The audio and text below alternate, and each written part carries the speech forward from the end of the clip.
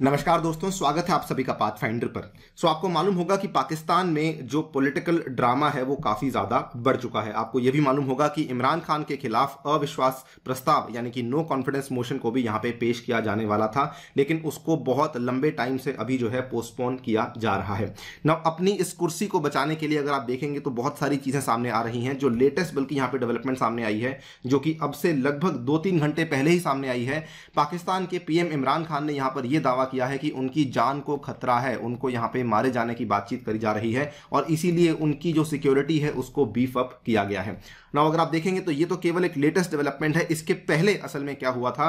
अपने इस पद को बचाने के लिए इन्होंने अलग अलग देशों के ऊपर आरोप लगाने शुरू कर दिए थे। इन्होंने टारगेट किया यूएसए को। आप यहाँ पे देख सकते हैं ये वाली खबर आज दोपहर को सामने आई। ये कल शाम की बात है, जब Imran Khan hits out at USA as no confidence debate was postponed now obviously यहाँ पर यूएसए का इसको लेकर कुछ ना कुछ जो है जवाब तो आना ही था। एंड यूएसए का कुछ ही घंटों के बाद ये जवाब सामने आता है दैट यूएसए सेज कि जो भी दलीलें, जो भी यहाँ पे आरोप इमरान खान यूएसए के ऊपर लगा रहे हैं, इनके अंदर कोई सच्चाई नहीं है। इन्होंने कहा कि there is no truth to the charges it wants to outs Imran Khan. ये भी आप देख सकते हैं हिंदुस्तान टाइम्स की खबर है USA rubbishes Imran claim of foreign conspiracy to unseat him from the PM seat मैं आपको बता दूँ कि यहाँ पे इमरान खान ने केवल अमेरिका को ही नहीं, बल्कि भारत को भी निशाना बनाया है। भारत के पीएम मोदी पर भी उन्होंने कुछ कुछ यहाँ पे बातें कही हैं। एंड अन्य चीज़ों पर भी, बल्कि पाकिस्तान के अंदरूनी जो नेता हैं, उनको भी इन्होंने निशाना यहाँ पे बनाया हुआ है। अब बात करेंगे पूरी की पूरी कहानी क्या है, डेवलपमेंट क्या है, और क्या हमें यहाँ पे जो है अपडेट्स आ रही हैं, उनके बारे में डिस्कशन आपके साथ करी जाएगी। चलिए शुरू करते हैं दोस्तों मेरे साथ। मेरा नाम है अनिरुद्ध। यदि आप मुझे फॉलो करना चाहते हैं तो यहाँ पर दिए गए टेलीग्राम चैनल के माध्यम से कर सकते हैं। And also you can follow me on the Unacademy app using this particular handle so that आपको मेरी क्लासेस की नोटिफिकेशन टाइम टू टाइम मिलती रहे। ऑल्सो अन अकेडमी आपके लिए आयोजित कर रहा है यूपीएससी सीएससी कॉम्बैट जिसमें अगर आप एनरोल करते हैं और टॉप रैंक्स लेकर आते हैं तो आपको यहाँ पे अन अकेडमी स्कॉलरशिप देगा। इसमें एनरोल करने के लिए आपको यूज़ करना होगा कोड अन्य यूपीएससी दोस्तों, इसकी तिथि है तीन अप्रैल और समय होगा सुबह ग्यारह बजे। इसमें जाकर के आप लोग हिस्सा ले सकते हैं। Right right? सो so, आपको मालूम होगा कि खान यानी कि इमरान खान जो राइट नाउ उनकी गवर्नमेंट प्रॉब्लम्स फेस कर रही है वो मल्टीपल फ्रंट्स पे उनको दिक्कतें आ रही हैं।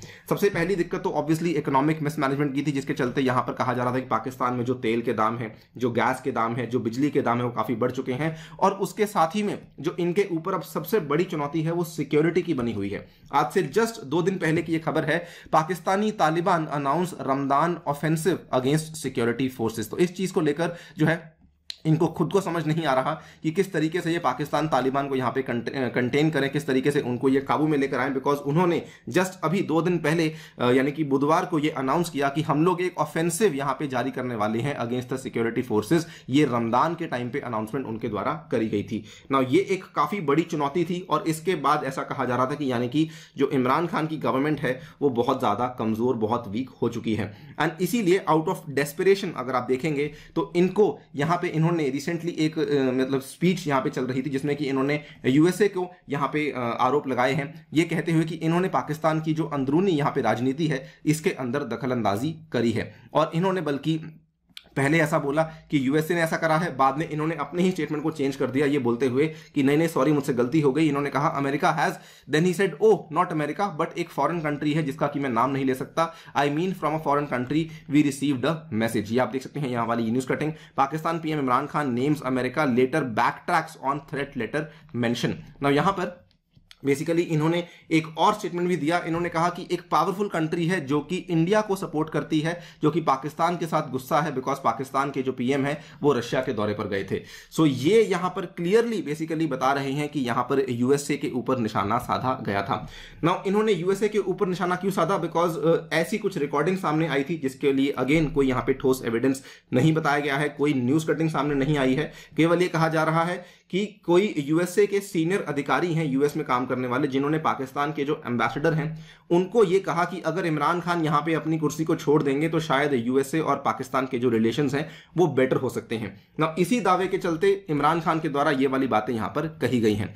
ना ऑब्वियसली इन्होंने केवल यूएसए को ही नहीं, बल्कि जो भी यहाँ पे सामने आ रहा है, उनको ये टारगेट कर रहे हैं। आज से पाँच दिन पहले की बात है पीएम इमरान खान ने पीएम मोदी को और पाकिस्तान के जो एक्स पीएम रह चुके हैं नवाज़ शरीफ, इनको भी टारगेट किया। इन्होंने कहा कि मोदी और शरीफ जो हैं, वो सीक्रेटली नेपाल में मिला करते थे, जैसे कि कुछ रोमांस चल रहा हो। और इसी चीज़ के लिए अगेन ये दर्शाता है कि ये केवल दिखाना चाहते हैं कि जो इनकी सरकार है, वो किसी भी पहले की सरकार से और किसी भी आने वाली सरकार से बहुत बेहतर होनी चाहिए। नाउ इस पूरी की पूरी कॉन्स्पिरेसी के खिलाफ ऑब्वियसली यूएसए को जवाब देना था बिकॉज़ यूएसए यहाँ पे अगर चुप रहता तो शायद ऐसा लगता कि शायद यूएसए इसको मान रहा है। लेकिन यूएसए ने इसका जवाब दिया। इन्होंने कहा कि there is no truth to the charges it wants to oust Imran Khan जो यूएस के वहाँ पे स्टेट डिपार्टमेंट के स्पोक्समैन है मिस्टर नेड प्राइज इन्होंने कहा कि there was no truth to the allegation बल्कि इन्होंने साथ में एक और चीज़ यहाँ पे क्लियर कर दी कि हम लोग पाकिस्तान में चल रही जो डेवलपमेंट्स हैं, उनको क्लोजली फॉलो ज़रूर कर रहे हैं। लेकिन हम लोग उनका रिस्पेक्ट करते हैं और हम लोग पाकिस्तान के कॉन्स्टिट्यूशनल प्रोसेस और रूल ऑफ़ लॉ का भी यहाँ पे पूर्ण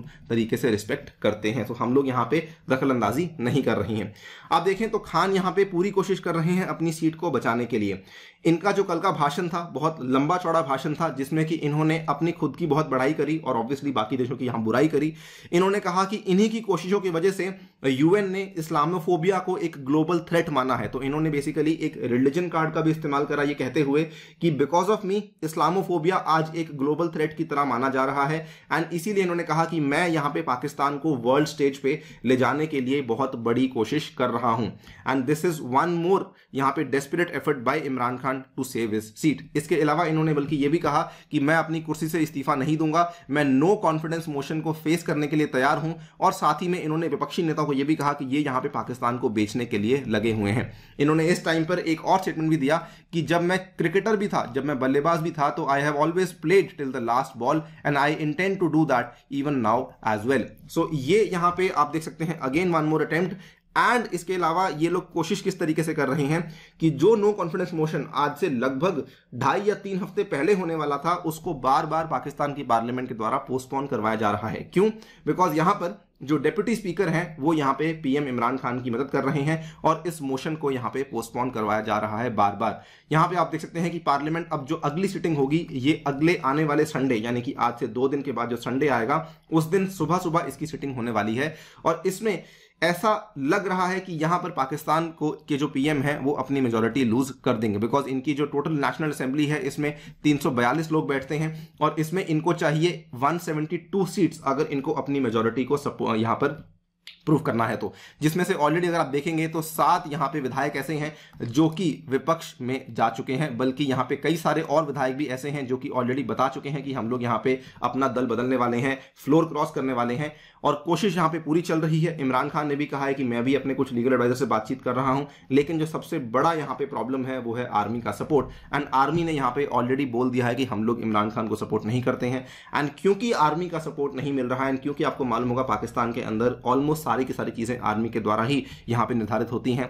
सो इट इज़ ऑलमोस्ट यहाँ पे श्योर है कि शायद इमरान खान यहाँ पे अपना कार्यकाल पूरा नहीं करेंगे और इस अविश्वास प्रस्ताव में उनकी हार होगी, जिसके चलते ऐसा कहा जा रहा है कि आने वाले दिनों में हमें पाकिस्तान के जो नए प्रधानमंत्री देखने को मिलेंगे, उनका नाम होगा शहबाज शरीफ, जो कि आई थिंक पहले पाकिस्तान के पंजाब के मुख्यमंत्री भी रह चुके हैं। देखते हैं क्या होता है। This is the latest development जो कि सामने आ रही है। आप क्या सोचते हैं इस पूरी की पूरी चीज़ के बारे में? हमें डेफिनेटली बताइए कमेंट सेक्शन में। फ़िलहाल के लिए वीडियो में इतना ही। जाने से पहले बताना चाहूँगा अन अकेडमी आपके लिए दो तरह के कोर्सेज लेकर आई है। प्लस और आइकॉनिक जो कि आपकी तैयारी को किक स्टार्ट करने में हेल्प कर सकते हैं। Using the code on UPSC आप इस पर डिस्काउंट ले सकते हैं और आपको मेरी पर्सनल गाइडेंस भी अवेलेबल करवाई जाएगी। साथ ही में ये वाले बैचेस आपके लिए अवेलेबल करवाए जाएँगे और मेरे द्वारा भी आपको ये डेडिकेटेड बैचेस अवेलेबल करवाए जाएँगे। इसके अलावा अगर आप अकेले टेस्ट सीरीज़ लेना चाहते हैं, वो भी आप लोग यहाँ पे ले सकते हैं। Using the code UPSC. Thank you so much for listening. Stay tuned and stay safe.